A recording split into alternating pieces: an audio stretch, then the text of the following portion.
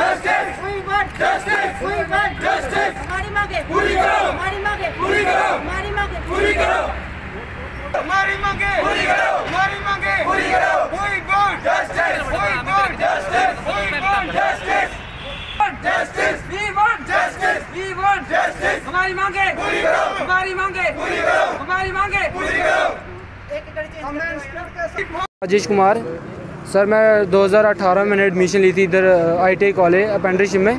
तो सर, हमारा ये होता है कि दो साल का कोर्स होता है और एक एक साल और छः महीने हमें शॉप पे करना पड़ता है, वो डिस्टेंस के थ्रू मतलब डिस्टेंस टाइप ही होता है ये, वहाँ पे करना पड़ता है। वहाँ पे हमारी अटेंडेंस जाती है इधर आईटीआई कॉलेज में। तो सर, हमने वो डेढ़ साल की वो अटेंडेंस भी दी है इनको। सर, उसके बाद हमारी होती है, इधर कॉलेज में ये कॉलेज इशू करते हैं।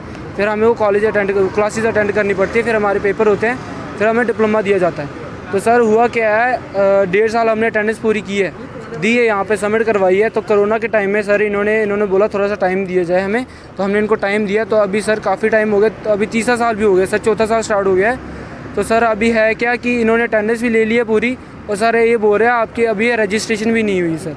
तो सर इन्होंने रजिस्ट्रेशन भी नहीं किया, अभी हम डेली आते हैं, हम तीन महीने से हो गए लगातार आते हुए। तो सर और यहाँ पे जो डायरेक्टर है वो भी छुट्टी पे चले जाती है वो भी बोलती है कि हमें दस दिन का टाइम दिया जाए बीस दिन का टाइम दिया जाए। सर अभी हमें मतलब दो दिन दो महीने हो गए इनको टाइम देते हुए। और ना डिमांड यही है सर कि हमें सर रिज़ल्ट चाहिए जल्दी से जल्दी रिज़ल्ट चाहिए हमें डिप्लोमा चाहिए सर। हमारी लाइफ स्पॉइल हो रही है सर अभी काफ़ी सर अभी एज मेरी एज लगाया सर मेरी पच्चीस साल एज होगी। तो सर अभी हमने नौकरी भी लेनी है सर फैमिली भी है सर हमारी वो वो भी देखती है। सर, हम क्या कर रहे हैं, सर? कोई रिज़ल्ट ही नहीं आ रहा इनका, सर। कल को, सर, खाना पीना भी है, सर। कुछ तो करना है, सर। लाइफ में ऐसे इन्हीं के भरोसे थोड़ी बैठे रहना, सर। तीन साल हो गया अभी खजल होते हुए। सर, हमें यही डिमांड है, सर। हमें जल्दी से जल्दी रिज़ल्ट चाहिए और कुछ नहीं, सर। Thank you